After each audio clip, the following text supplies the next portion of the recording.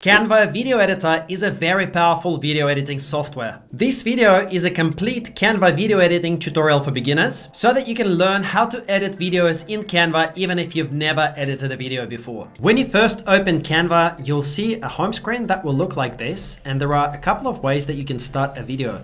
First of all, you can go into this videos tab and you will get a lot of templates that you can choose to work from, including mobile video, Facebook video, Instagram reel, TikTok video, and so forth. So you can click one of them to get started, or you can go into create a design and search for what you would like to do. For example, you can start typing YouTube video and Canva will give you some ideas on the size of the project file that you want. So let's go with YouTube video 1920 by 1080p. So this way you can now see that we've got the canvas that looks like a horizontal video. And just to demonstrate to you, if I created a YouTube Shorts video, which is a vertical mobile style video, then we will get a canvas that looks like this, a vertical video.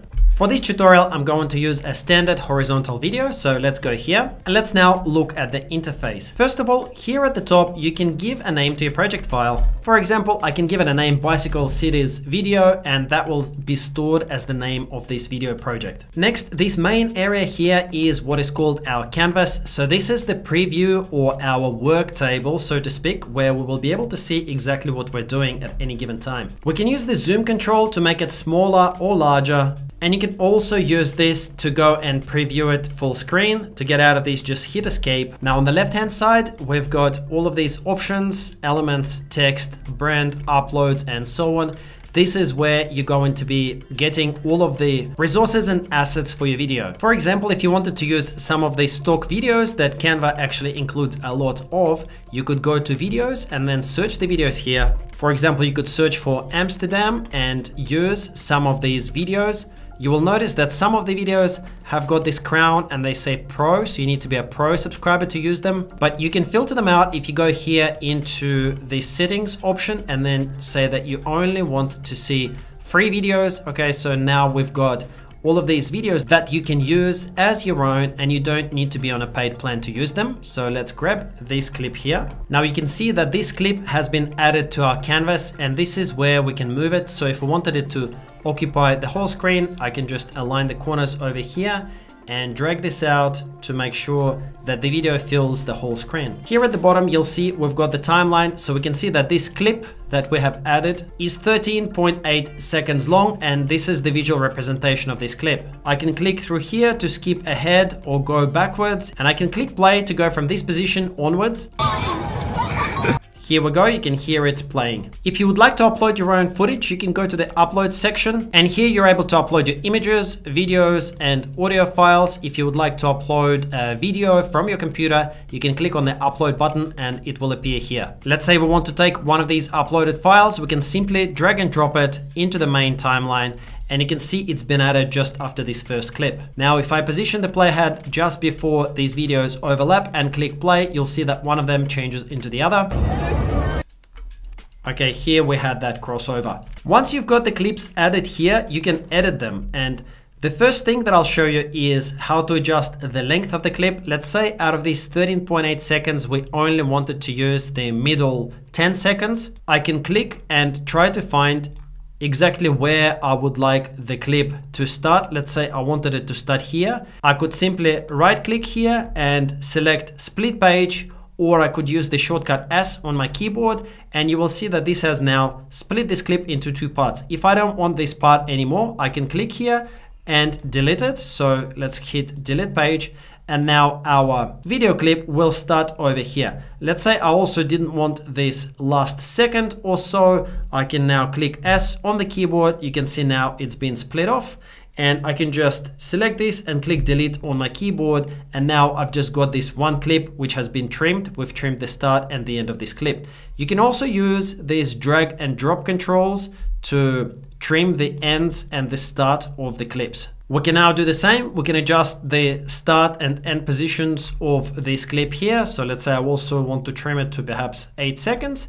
Okay, and just like that, we've trimmed our clips. Now, let's say if I wanted to add the voiceover to this clip, I can go into uploads. This is the voiceover that I have prepared. So let's just add that in. You can see it's been added here. I can adjust it to start at the very start of this clip. Let's listen to it and just edit these parts to match the voiceover. Amsterdam is a city built for bicycles. It's very easy to get around the city using your bike. Bike lanes in the city are everywhere. That's what keeps the people fit. Now let's look how to add b-roll. So for this second section where it talks about getting around the city using a bike, I want to add a b-roll of a person on a bike. So let's go into videos. I've searched for a video of a bicycle so we can use any of this footage. You can of course upload your own as well. I'm going to take this clip over here and for that let's zoom in on the timeline. Here you can either zoom page or zoom thumbnails. So we're going to choose zoom thumbnails and that's actually going to give us easier way to control the timings on our timeline. So now that we're here, let's click S or right click and select split page. I'm going to do this right over here as well. Click S, split page, and this is where I would like my b-roll footage to go, which is the footage of this person on a bike. The next part is important because if you simply grab this clip and drop it here, what is going to happen is that Canva is just going to shift the rest of your video clips further into the timeline. To prevent that from happening, position your cursor at the position where you would like the b-roll to appear. Take this clip and drag and drop it like this on the canvas. This way it will be coming up as an overlay so it's actually added on top of this clip. Now if you right click it, you will see there is an option that says hide timing and show timing. This is how you can choose where this video clip starts and where it ends. So let's use this to just find out where we want this clip to start. Let's play it. Amsterdam is a city built for bicycles. And now we want that clip to kick in over here. Okay, so we'll just adjust this and let's see where it needs to end. It's very easy to get around the city using your bike. So we want it to end right over here. So then we can drag this end of the clip towards the marker line like this. And now all we need to do is just adjust the position and the size of this clip like that. And we've now got this clip as an overlay over the main video. If you lose the audio file, just right click on here and this way you'll be able to see all the layers. Let's just preview it again. Amsterdam is a city built for bicycles. It's very easy to get around the city using your bike.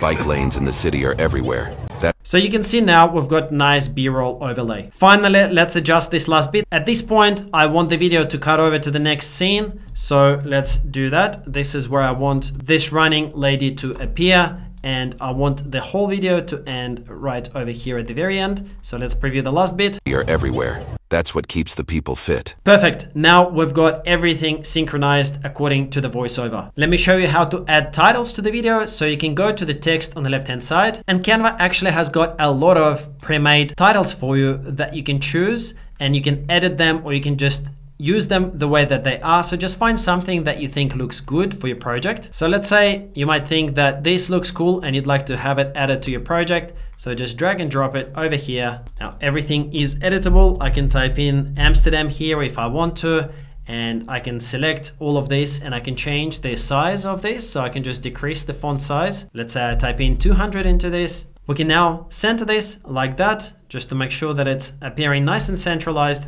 And let's change this to say cycling like this. That's probably a little bit too large. So let's just resize this and maybe put it in the corner here.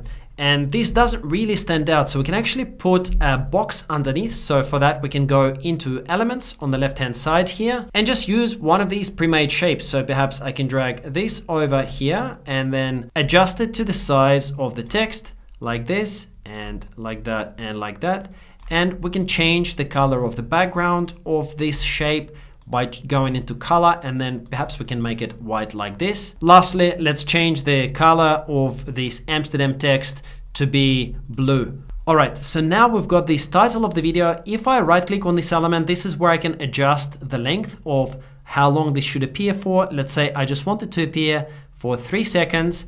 Note that for text, you can, of course, you can use these pre-made titles, but if you wanted to create your own, you could simply just go add a heading, subheading, and create your own from scratch. Now, let's introduce some effects to this title. So for that, let's select the actual title like this. and let's click on animate. For example, I might want to have this title appear on the screen. Here you've got the basic text animations and let's try and see how fade looks. Here we've got the option to either do both or on enter or on exit. So we can apply different effects for entering and exiting. But let's say I want to have fade for both entering and exiting. Now I can also control the speed, how, how quickly this will happen. So let's just have a quick preview over here. Let's observe how it fades in and fades out. Amsterdam is a city built for bicycles. It's very easy. Okay, you've seen this fade in effect. So this was cool. Let's now just apply another animation effect to cycling.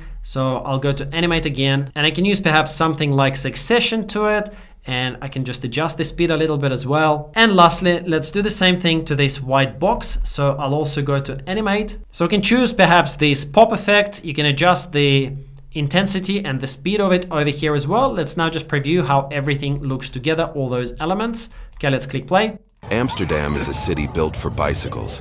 All right, now we can see that the length of this is a bit too long, so I'm just going to select it. And we can now see the timeline, so I just need to shorten this because this got a little bit out of sync, so let's now preview it again. Amsterdam is a city built for bicycles. It's very easy to get around the All right, so that looked really, really cool. It was very easy to animate.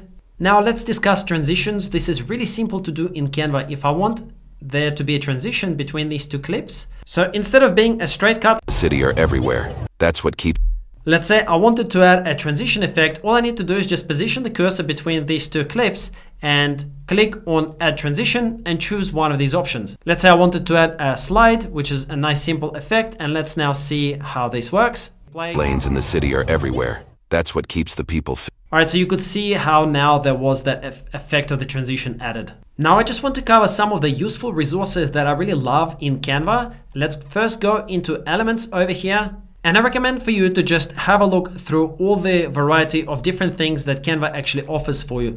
There are these animated stickers and there are lots of them. So if you click on see all, you'll actually see there are hundreds and hundreds of these animated stickers that you can use to make your video really, really cool. So for example, if I wanted to add this animated sticker over here, I can just click on it and it will bring it across okay and it's very useful to highlight certain things in your video you can of course adjust the timing of this sticker and there are literally unlimited varieties of what it is that you would like to add. For example, if you have a YouTube channel, you might use this subscribe sticker, which is really nice and cool and animated to add it somewhere into your video.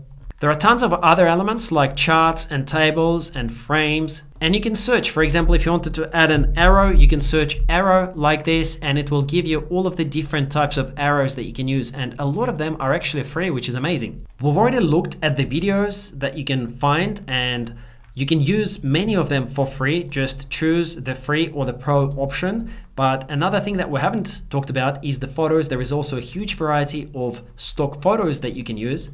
For example, if you wanted to see the photos of bicycles, once again, you can just limit this to be free images only so you don't have to pay for them. And here are all the different images that you can use in your projects, in your videos. And even though they're just images and you're making a video, you can still use these quite often because if you drop it here to the end, you can apply animation to this image. So for example, if I choose this and then I go animate and then I scroll down the bottom to photo movement, I can actually apply the zoom to it. And let's say I want to scale it, okay. Um, this will basically then become an animated image. So let me show you what I mean. So see how now this is moving. So if you had some voiceover, you can actually just make videos like this with moving images. If you wanted to adjust the speed of your clip, you can do it. Just select the clip that you'd like to adjust the speed for and then at the top left, go into playback and you can adjust the speed of the video by dragging this left and right. Let's talk about audio for a second. You can add music and various other audio files from here. So you can go into audio, see all, and then you can add all of this music that's over here. If you want to upload your own music, you can do that from uploads and then just go into audio and upload your own music file. Next, let's talk about adjusting the volume of your audio. So if I wanted to adjust the volume of this, I simply need to click on the audio file, then right click on it and select volume. And here I can adjust the volume either up or down to match exactly what I would like to happen in the video. Next, let's talk about color grading. Let's say I wanted to adjust the feel and the look of this clip. I would simply need to select it and then click on edit video here in the left hand side and it will give me a number of tools that I can use to adjust the look and feel of this video. So let's click on see all over here and there are some pre-made filters that I can apply with just one click. For example, if I wanted to apply this warm summer filter, I can do that and you can see now instantly the difference. I can apply the edge filter I can apply the vivid filter to change how it looks. Let's now go back and look at manual adjustments. So over here you can adjust the warmth of the video just by dragging this bar left and right. You can also adjust the tint, so the color of it, and various other parameters like highlights, shadows, fade, to get the exact look of the video clip that you would prefer. Next, I want to show you something really cool that I've been using quite a bit in Canva and that is AI. Next, I want to show you something really cool inside Canva. So if you go into elements, you will actually find what's called AI image generator. So over here, you can click on plus and you can enter words into the description and you can generate some kind of an image a custom image to help you with your video project. Now you can generate images, graphics, and even videos. So let's give video generation a try. So I'm just gonna say bicycle riding through Amsterdam and let's click generate video. And look at this, it's created a video clip for us that looks extremely real. So I can just drag and drop it over here into the timeline and let's just have a quick preview of how it looks. Okay, so let's look at this video clip. I mean, look how real it looks. If you're stuck for some footage ideas, you can certainly use this AI video generator to generate some footage for your presentation or video. Likewise, you can use the image generator to just generate a static image as well. Once you're happy with your video, you can go into the share dialog and this is where you can export and download it. So just go into the download area and choose the correct options that you would prefer. For a video, it's going to be the MP4 video. You can adjust the quality of it over here. Select the clips that you would like to download. Most likely it's going to be all pages and from there you can click download and you're going to download your video. If you love video editing and you want to turn your video editing skills into income, then go to fastervideos.com. This is where you can access my training course for free here you can enter your email address and click the green button to get $0 access to my training course and community